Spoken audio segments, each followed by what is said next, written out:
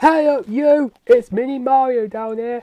Thank you so much for um, letting me put the intro version on Sesame Street. Yeah, that is brilliant. Keep on your good work, mate, and I'll see you guys later on.